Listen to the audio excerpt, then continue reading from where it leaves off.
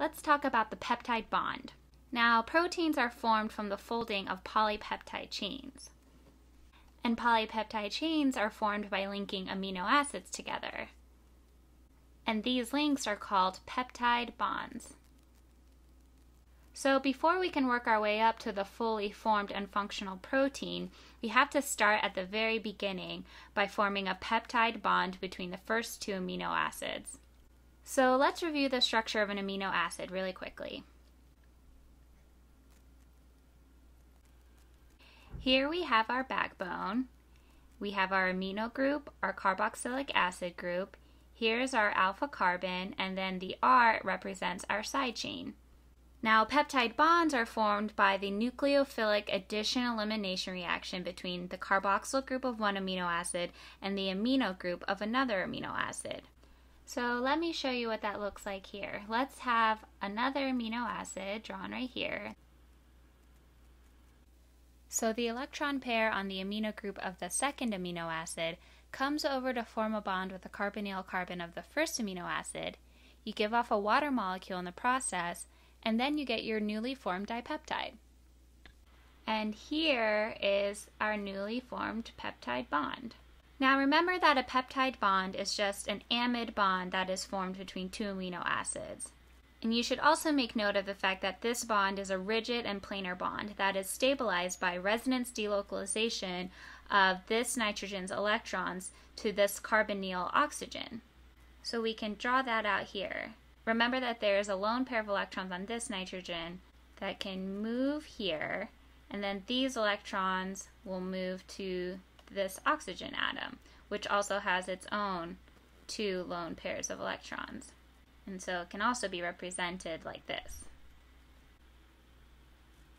And we'll have the formation of a double bond here and then an extra lone pair on the oxygen atom.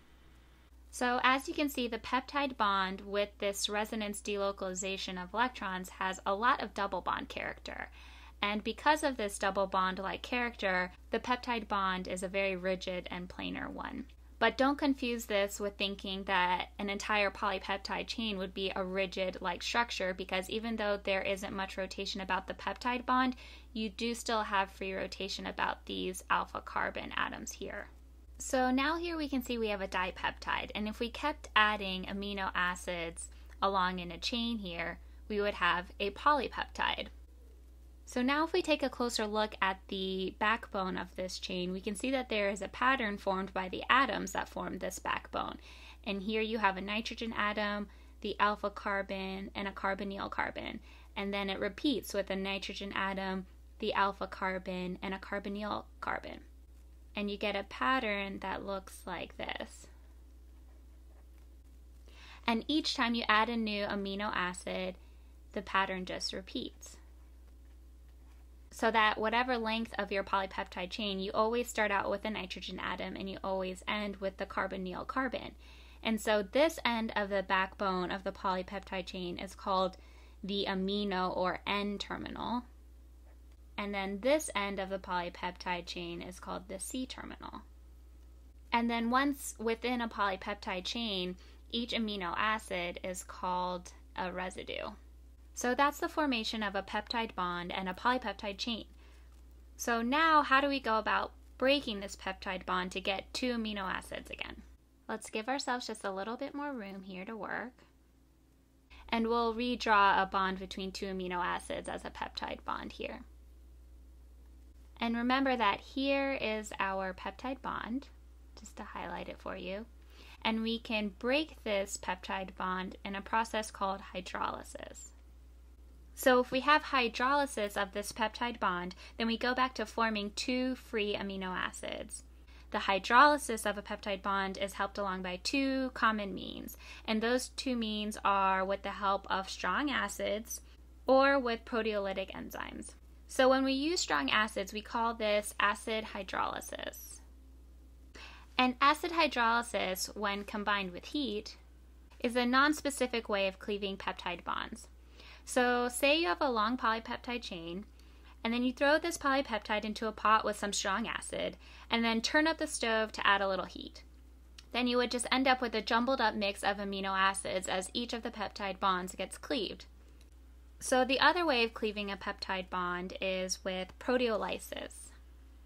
And proteolysis is a specific cleavage of the peptide bond with the help of a special protein, an enzyme called a protease.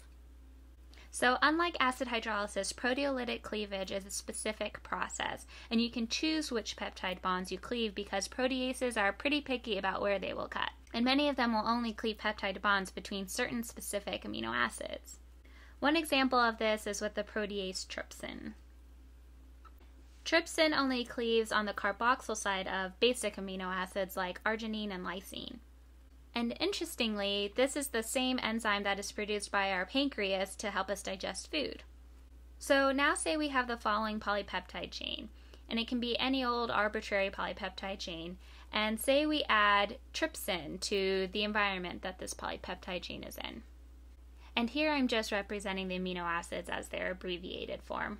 Now with the addition of trypsin, where would this polypeptide chain be cleaved? Well, remember that trypsin cleaves on the C terminus of arginine and lysine.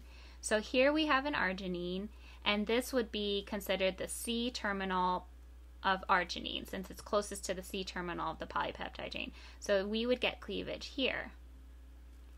And then likewise, we would have cleavage on the C terminal of this lysine residue here. And so, with this particular polypeptide chain, you would end up with three different fragments after the addition of trypsin, since it cleaves in these very specific places. And there are many other examples of specific proteases that cleave in certain parts of polypeptide chains. And you probably don't really need to memorize which proteases cleave after which amino acids, but you should probably remember that they are just specific means of breaking a peptide bond, unlike acid hydrolysis over here, which is a very non specific way of cleaving a peptide bond.